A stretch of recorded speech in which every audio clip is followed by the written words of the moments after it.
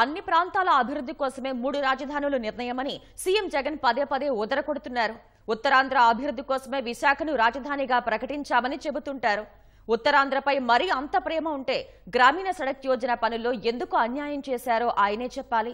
సొంత జిల్లాకు ముప్పైకి పైగా పనులు కేటాయించిన జగన్ ఉత్తరాంధ్ర ఉమ్మడి జిల్లాలకు మాత్రం ఎనిమిది పనులే ఇచ్చారంటేనే సీఎంకు ఉత్తరాంధ్రపై ఉన్నది ఉత్తుత్తి ప్రేమేనన్న సందేహాలు వ్యక్తమవుతున్నాయి.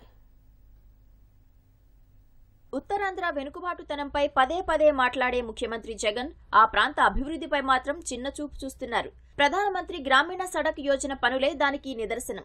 పీఎం జీఎస్వై త్రీలో మొదటి బ్యాచ్ కింద రెండు వేల ఇరవై మూడు ఇరవై నాలుగు సంవత్సరానికి రాష్ట్ర ప్రభుత్వం నూట పదిహేను రోడ్లు డెబ్బై రెండు వంతెన నిర్మాణ పనులకు వెయ్యి నలభై ఐదు కోట్ల నలభై నాలుగు లక్షలకు పరిపాలనా అనుమతులిచ్చింది. ఇందులో బ్యాచ్ వన్ కింద నూట ఎనభై ఏడు రోడ్లు వంతెనల పనులకు అనుమతులిస్తూ జీవో ఇచ్చింది.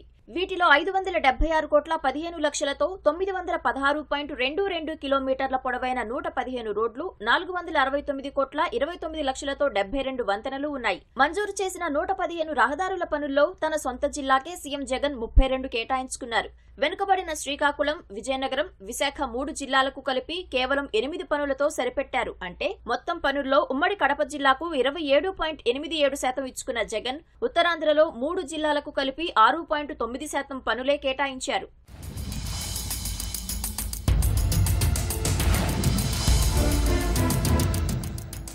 జగన్ పాలనలో ఉత్తరాంధ్ర ఎంతో అభివృద్ధి చెందుతోందని ప్రతి సభలోనూ గొంతు చించుకునే మంత్రులు ధర్మాన ప్రసాదరావు. సీదిరి అప్పలరాజు సొంత జిల్లా అయిన ఉమ్మడి శ్రీకాకుళానికి కేవలం ఒకే ఒక్క రోడ్డు పనిని ప్రభుత్వం కేటాయించింది. మరో మంత్రి బూడి ముత్యాల నాయుడు సొంత జిల్లా ఉమ్మడి విశాఖపట్నానికి రెండు రోడ్ల పనులు మాత్రమే ఇచ్చారు. మంత్రి బొత్స సత్యనారాయణ సొంత జిల్లా విజయనగరానికి కంటి తుడుపుగా ఐదు రోడ్ల పనులు కేటాయించారు. ఉత్తరాంధ్రపై సవతి తల్లి ప్రేమ చూపిస్తున్న జగన్ సర్కార్ మంత్రి పెద్దిరెడ్డి రామచంద్రారెడ్డి సొంత జిల్లా ఉమ్మడి చిత్తూరుకు మాత్రం అధికంగా పదిహేను పనులు కేటాయించారు. అంటే జగన్ పెద్దిరెడ్డిల సొంత జిల్లాల్లోనే రోడ్లు పాడయ్యాయా?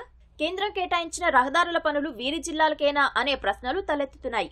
మిగతా జిల్లాల్లో మోకాలు లోతులో గుంతలు పడిన రోడ్లతో గ్రామీణ ప్రజలు అవస్థలు పడుతున్నా కనిపించడం లేదా అనే వాదనలు వినిపిస్తున్నాయి.